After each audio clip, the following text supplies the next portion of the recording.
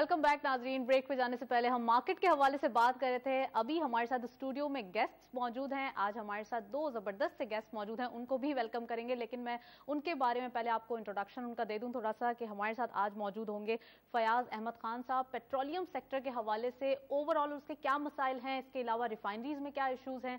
पाकिस्तान की इकोनॉमी में इसका कितना कॉन्ट्रीब्यूशन है, इस हवाले से हम बात करेंगे। इसके साथ साथ सेकेंड गेस्ट हमारे साथ मौजूद होंगे याहिया खान साहब। आपसे हम डिजिटल बैंकिंग के हवाले से बात करेंगे क्योंकि बैंकिंग सेक्टर में सबसे ज़्यादा जो एक डिजिटलाइज होने का मसला था वो अब पाकिस्तान में रिजॉल्व होने जा रहा है। तो आप हमारे साथ मौजूद होंगे दोनों गेस्ट हमारे साथ मौजूद हैं उनको वेलकम करते हैं प्रोग्राम में।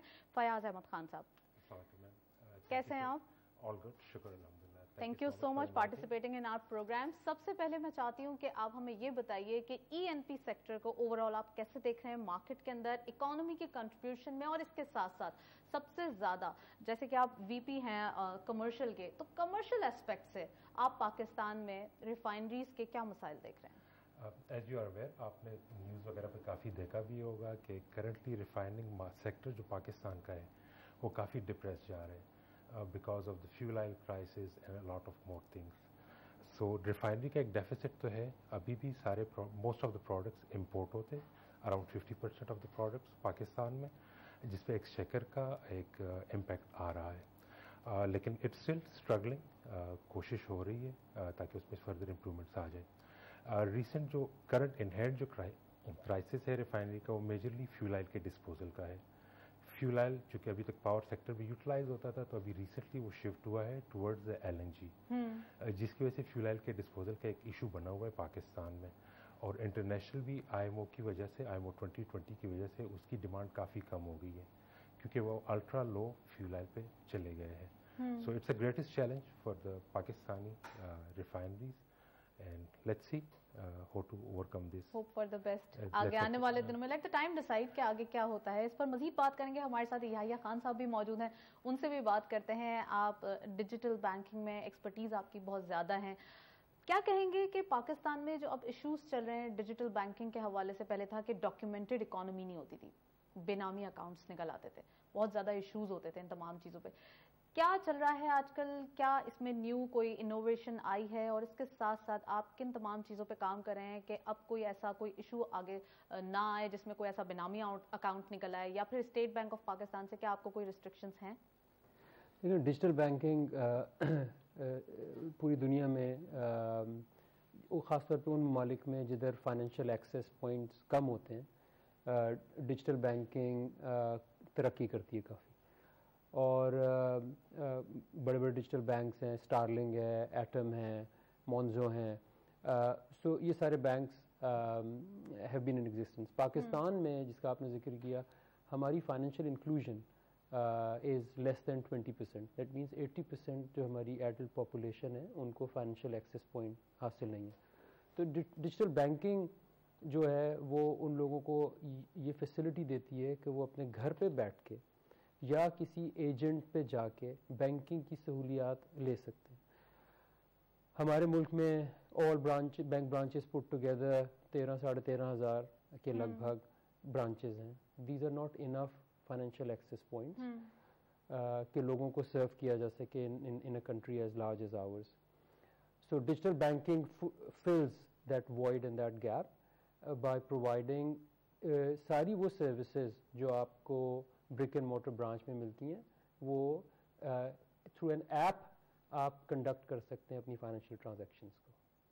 इतना इनोवेशन है world is going so far कि अब सारा काम आपके वन टच एक बटन पे सारा चीज़ हो जाता है तो पाकिस्तान में ये काफ़ी लेट नहीं हुआ काम? जी लेट हुआ है और उसकी वजह होती है किसी भी इंडस्ट्री और किसी भी मार्केट को पिक करने के लिए पहले इंफ्रास्ट्रक्चर की ज़रूरत होती है उधर। इंफ्रास्ट्रक्चर जो डिजिटल बैंकिंग के लिए चाहिए होता है वो थ्री जी फोर जी का नेटवर्क हम्म। चाहिए होता है।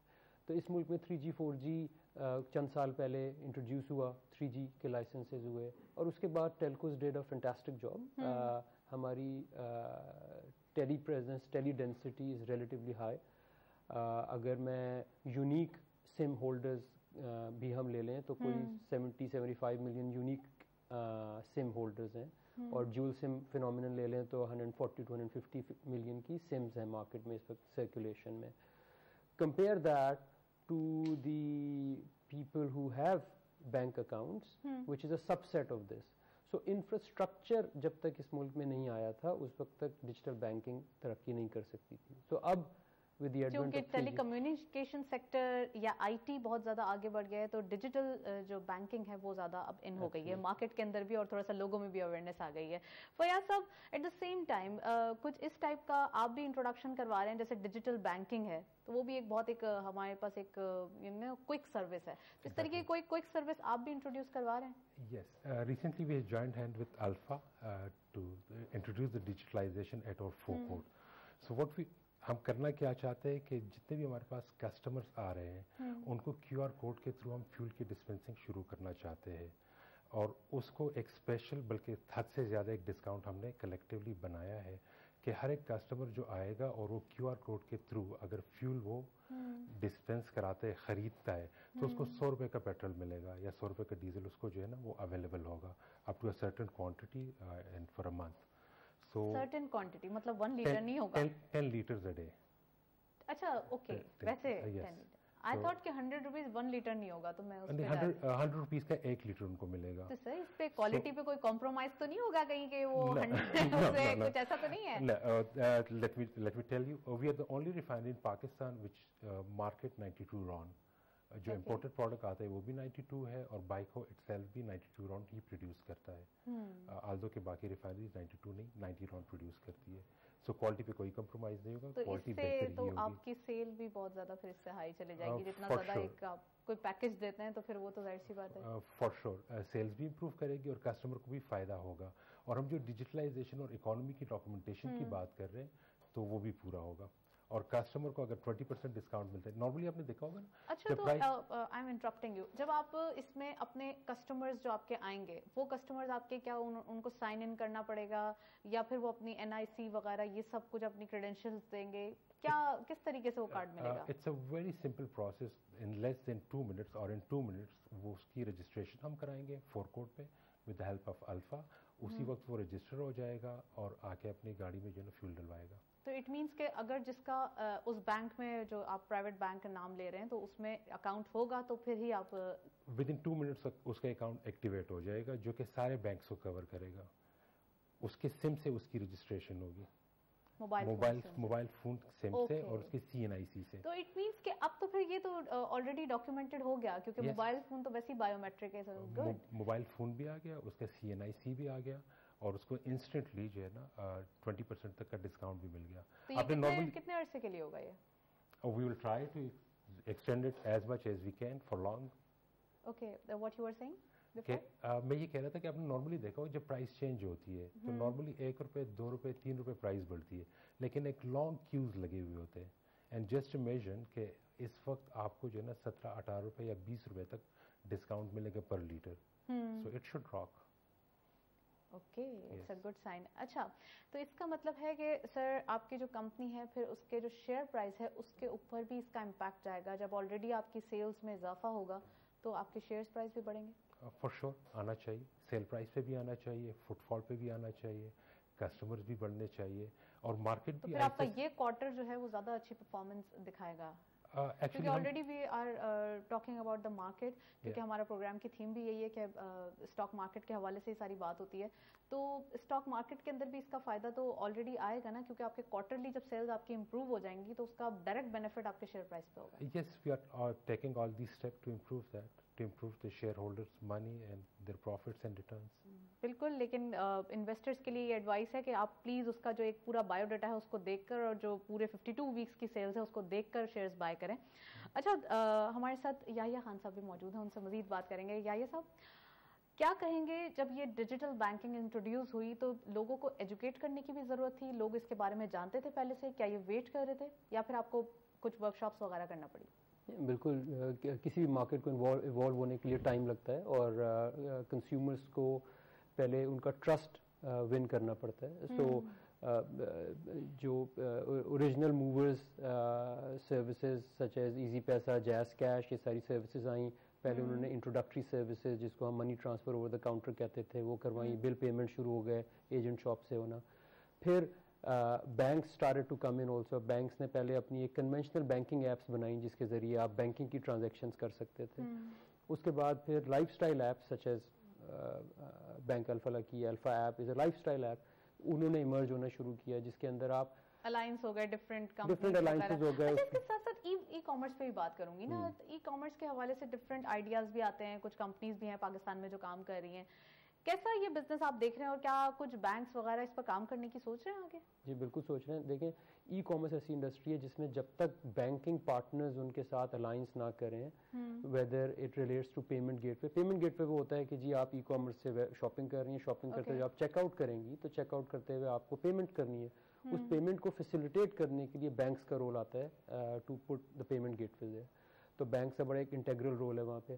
फिर बैंक्स फाइनेंसिंग uh, पूरी दुनिया में अमेजोन ले लें अदर मार्केट प्लेसेस ले पाकिस्तान में दराज है। पाकिस्तान में दराज है। यहाँ पे बैंक का रोल आता है कि वो मर्चेंट्स की फाइनेंसिंग करें। तो हमारी अगेन एक और कंज्यूमर्स की फाइनेंसिंग भी करें जो वहाँ पे ख़रीद रहे हैं चीज़ें। हमारी अगेन प्रोडक्ट्स हैं जिसके हम मर्चेंट एंड कंज्यूमर दोनों की फाइनेंसिंग करते हैं।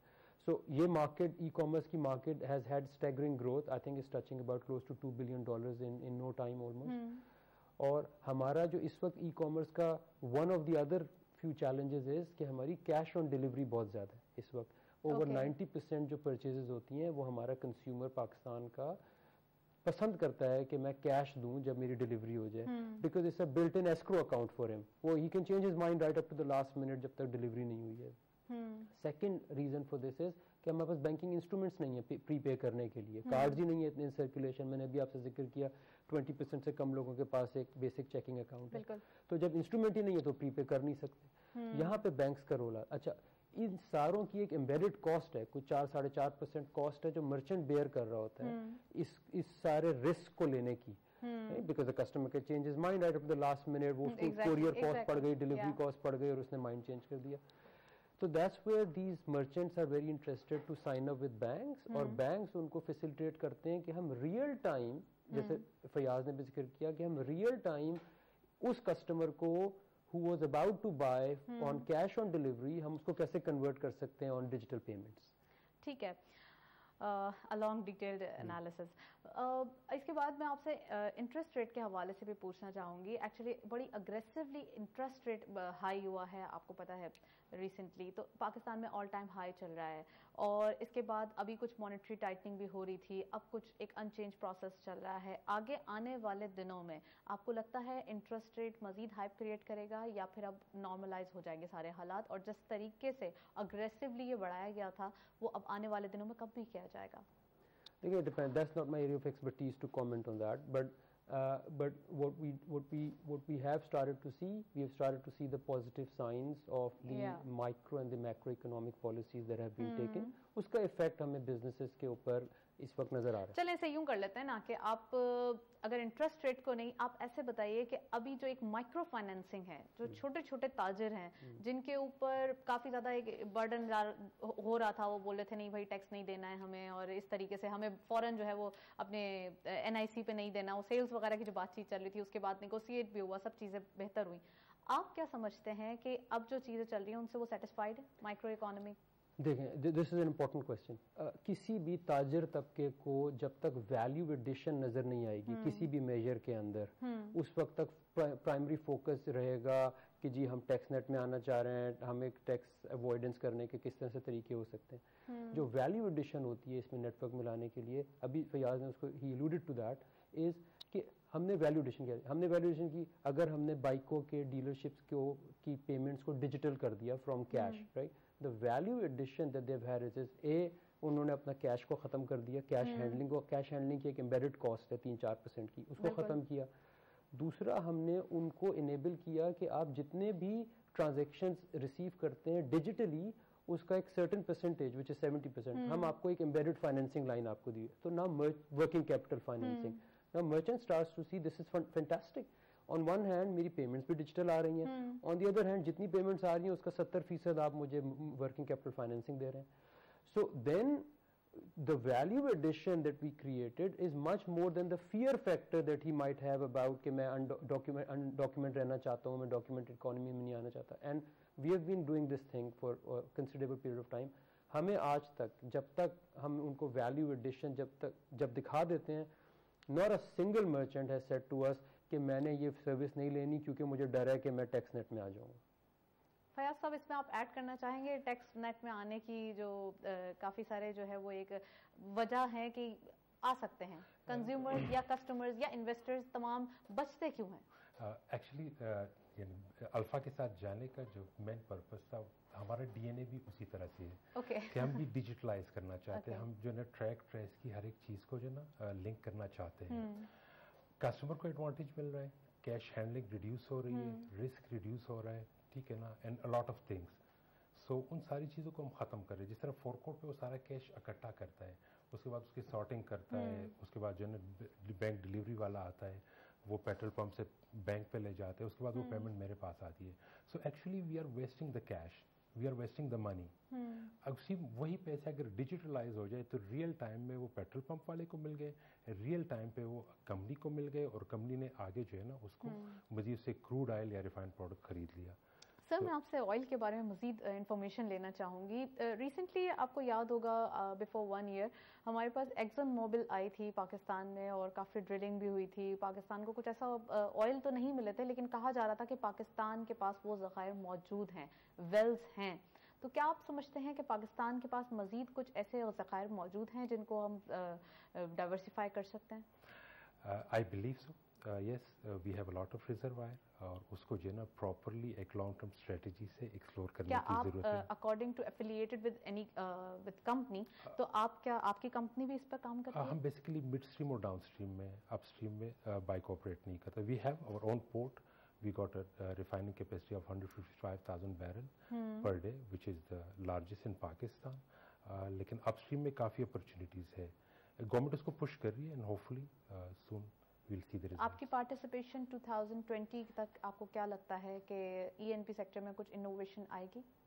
एक्चुअली हमें थोड़ी सी समझने की ज़रूरत है। ईएनपी जो है ना एक लॉन्ग लॉन्ग टर्म में आपको काम करना पड़ता है। यू नो इमीडिएटली नहीं होता। कुछ चीज़ों के रिज़ल्ट आपको इमीडिएटली आ जाते हैं। जिस तरह अभी हमने करंट जो चीज़ इंट्रोड्यूस की है डिजिटलाइजेशन की। So we started with only 27 petrol pumps in Karachi as a pilot project जिसको ऐसे ऐसे से हम एक्सपेंड करेंगे सो okay. so, यहाँ पे आपने डिजिटलाइज कर दिया और विद इन नो टाइम आपके पास रिज़ल्ट आने शुरू हो गए ई hmm. एक लॉन्ग लॉन्ग टर्म आपको काम करना पड़ता है you have to explore the hydrocarbon चाहे आप समंदर में कर रहे चाहे ज़मीन में कर रहे सो okay. so, थोड़ा सा सबर आजमा काम है सबर आजमा कितना टाइम फ्रेम लगता है? अगर आप कंसिस्टेंटली रहे तो काफ़ी सारी जो है ना चीज़ें हो सकती है। आपके पास के पी के में अच्छे खासे रिजर्वायर आ चुके हैं। आपके पास बलूचिस्तान में काफ़ी रिजर्वायर आ चुके हैं। सिंध में इट है। So it will take a little bit of time but I पर जो अपने सीनियर और बाकी लोगों से सुना है so we have enough reservoir and frankly speaking if across the border अगर ईरान में वो हाइड्रोकार्बन मौजूद है इंडिया में मौजूद है तो पाकिस्तान में भी है ज़मीन तो वही है। सो so, इस पर काम करने की ज़रूरत है आप समझते हैं कि आई थिंक जो इन पी कंपनीज़ है वो काफ़ी लगी हुई है लेकिन they need to be more aggressive time बहुत शॉर्ट है और क्वेश्चंस बहुत ज़्यादा हैं। या या मैं आपसे लास्ट क्वेश्चन लेना चाहूँगी। एक ओवरऑल कमेंट करेगा डिजिटल इंडस्ट्री कैसे सर्वाइव कर रही है पाकिस्तान में और इसका क्या फोकस है और क्या फ्यूचर है? इसका इसका इसका फ्यूचर मेरे नज़दीक इज़ फैंटास्टिक क्योंकि दो industries telco and banking have been working together hand in hand for long time जैसे मैंने पहले ज़िक्र किया टेलको इंफ्रास्ट्रक्चर प्रोवाइड करती है उस इंफ्रास्ट्रक्चर के ऊपर बैंकिंग इंडस्ट्री बैंक कर रही है। पाकिस्तान में banking apps have started to evolve into lifestyle apps just like the Chinese model और द इंटरनेशनल मॉडल और अब with partnership such as these जिनका हम अभी ज़िक्र कर रहे हैं the banking industry has started to expand into transactional banking area जो पहले नहीं होती थी। पहले deposit and and and and and to an extent lending होती थी। सो so, मेरे पॉइंट ऑफ़ व्यू से the way I see it is Pakistan में with such low penetration of basic financial services in the country with the infrastructure provision there and the tele density which is already here, it has a fantastic future. Thank you so much. आप दोनों का बहुत बहुत शुक्रिया. Thank you so much for your precious time. हमारे साथ मौजूद थे याया खान साहब और इसके साथ साथ फयाज खान साहब मौजूद थे. काफ़ी डिटेल एनालिसिस था पेट्रोलियम सेक्टर के ऊपर और ओवरऑल बैंकिंग सेक्टर के ऊपर डिजिटलाइज बैंकिंग जो हमारे मुल्क में काफ़ी हद तक अब मकबूल हो चुकी है और जो इन्वेस्टर्स या फिर जो कंज्यूमर्स हैं वो भी चाहते हैं कि वन टच उनका जो है वो फ़ौरन काम हो जाए काफ़ी डिटेल जाने की ज़रूरत नहीं है तो this is the future stay tune break के बाद वापस आते हैं।